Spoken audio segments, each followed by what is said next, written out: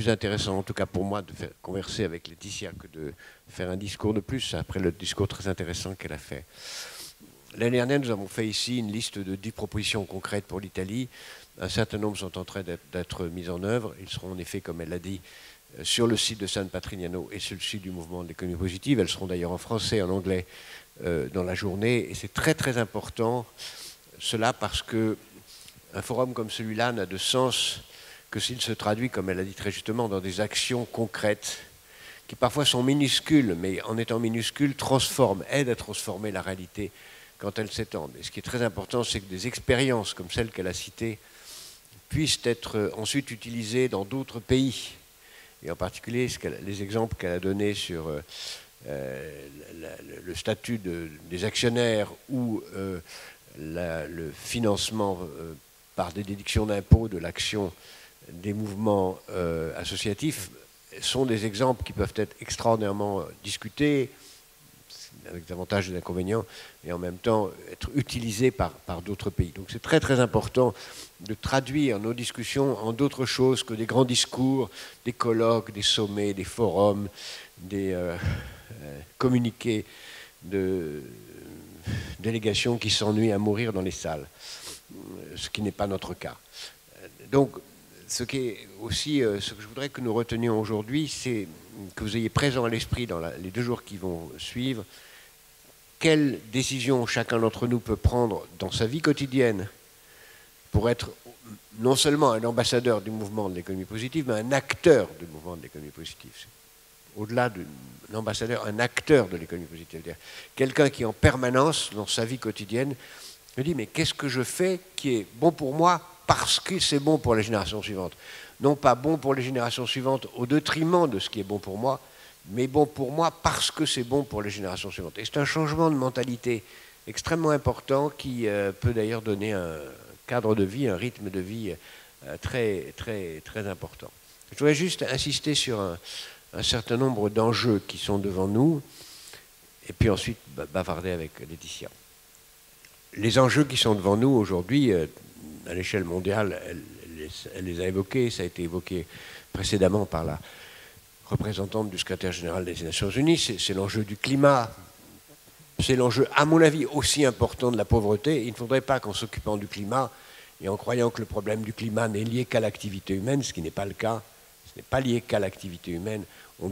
se détourne d'autres euh, préoccupations qui sont euh, de la pauvreté. Parce qu'une façon, évidemment, de maîtriser le climat, c'est de maintenir tout le monde dans la pauvreté, ce qui serait évidemment une solution euh, désastreuse et que certains peuvent avoir en tête. Donc, à l'échelle de la planète, il y a la pauvreté, il y a le climat, il y a la démocratie, il y a la liberté, il y a tout un ensemble d'enjeux majeurs qui sont les conditions mêmes de la survie. Et dont l'enjeu principal a été dit remarquablement tout à l'heure par le maire de Rimini, c'est l'enjeu de créer les conditions pour que chacun puisse exprimer ses capacités créer les conditions pour que chacun puisse exprimer ses capacités. S'il y avait un sujet qui passerait avant tous les autres, c'est l'éducation. Mais l'éducation n'est pas possible sans tout un ensemble de considérations, comme on vient de le voir avec ce qui se passe avec Boko Haram et les autres fous qui veulent empêcher d'apprendre. Il n'y a pas d'éducation sans règles de droit, donc il n'y a pas d'éducation sans police, sans justice, sans système social stable qui crée les conditions d'une éducation qui euh, enseigne autre chose qu'un dogme et enseigne à, être libre et à penser libre. Donc l'éducation, c'est la pointe émergée de l'iceberg d'une société démocratique. Donc c'est la priorité majeure que de créer les conditions d'une éducation. Et là où il y a de l'éducation, une vraie éducation, qui de, plus en plus sera possible par les nouvelles technologies qui n'exigeront plus une présence physique, mais vont permettre de transformer radicalement la façon d'apprendre, nous avons un progrès possible. Deuxième, deuxième enjeu qui va être tout à fait euh, majeur dans les euh, années qui viennent, et en particulier là où nous nous trouvons en Europe, c'est la démographie. Nous avons un enjeu démographique qui est un enjeu particulier de, l'Italie, euh, comme, comme, de la plupart des autres pays européens, qui est à la fois un enjeu de la natalité interne et un enjeu de la gestion de l'immigration. et ça, c'est un enjeu qu'il faut affronter. Comment l'Europe va-t-elle maintenir sa capacité à être un continent qui euh, ne diminue pas dans sa population qui va continuer à être accueillant, mais qui va créer les conditions pour que cet accueil soit euh, le plus digne possible? On ne peut pas continuer à avoir, comme on a eu cette année, entre, entre 3 et 10 000 morts euh, en Méditerranée de, bateaux qui ont coulé. Plus de entre 150 et 200 000 personnes qui sont arrivées en Italie et que l'Italie, dont l'Italie porte la responsabilité, sans, alors que toute l'Europe devrait être solidaire. Il y a donc un, une réflexion majeure à mener à la fois sur la politique démographique en Italie et en Europe, et sur la politique de l'accueil et de l'intégration des étrangers, en, ayant conscience que l'Europe, si on veut parler de son avenir, si on veut parler d'une économie positive en Europe, l'Europe a besoin de recevoir et d'intégrer un nombre considérable de gens venus de l'extérieur, à condition de bien les intégrer et, de disposer d'une politique, et là aussi ça renvoie à la politique éducative. Et pour ça, tout ça exige euh, un certain nombre de réformes, et je voudrais juste insister sur deux réformes, qui d'ailleurs ont été euh, déjà évoquées, l'une euh, par Laetitia et l'autre par le maire de, Rémini. La première réforme, c'est celle de, du droit de vote dans les entreprises. Il est essentiel que le droit de vote dans les entreprises soit fonction de la durée de détention des titres. C'est pourquoi d'ailleurs, ironiquement, les entreprises qui sont les plus positives sont les entreprises familiales et les entreprises nationales, puisque les unes et les autres ont un actionnariat stable, ce qui n'empêche pas dans les deux cas de faire beaucoup d'erreurs. Il y a des entreprises familiales qui se sont ruinées, il y a des entreprises nationales qui ont ruiné les contribuables. Donc euh, le caractère positif n'empêche pas de faire des erreurs, mais ce sont les plus sérieuses en tout cas les seuls qui pensent véritablement au long terme. Et nous devons créer les conditions pour que ceci devienne euh, véritablement euh,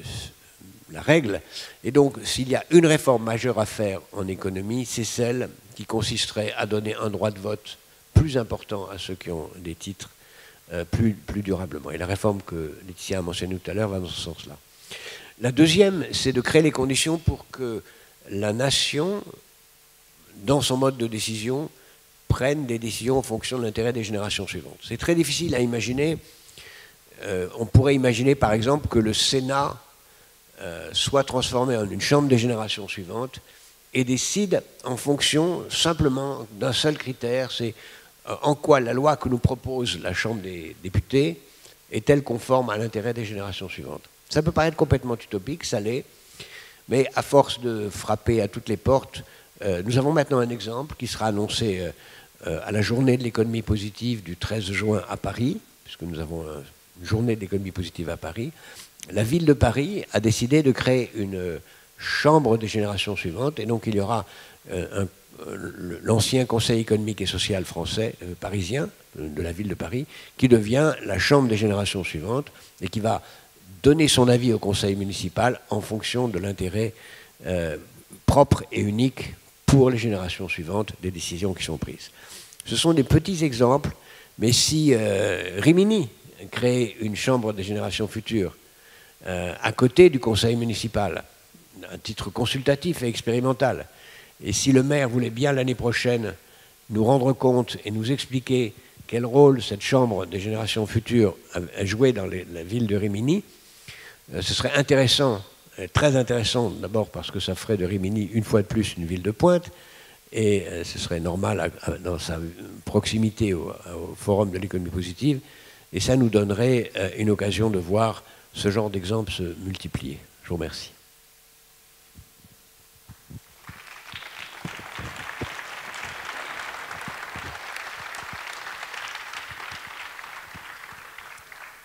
Grazie Jacques, il mio intervento non era assolutamente previsto, quindi però mi fa piacere di eh, eh, riprendere qualche concetto che eh, è stato espresso da, da, da, Jacques su alcuni dei temi che giustamente Jacques considera prioritari nell'agenda del movimento dell'economia positiva. L'educazione, l'immigrazione, le politiche demografiche,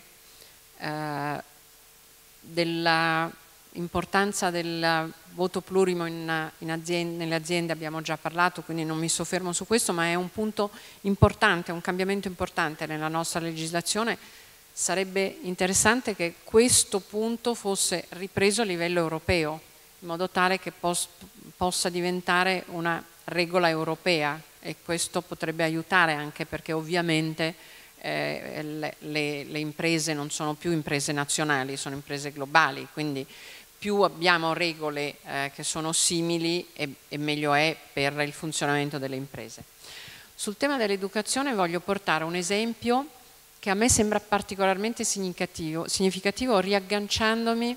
a ehm, il, quello, uh, gli esempi che portava l'alto rappresentante delle Nazioni Unite sul tema dell'educazione. Eh, IFC, che è una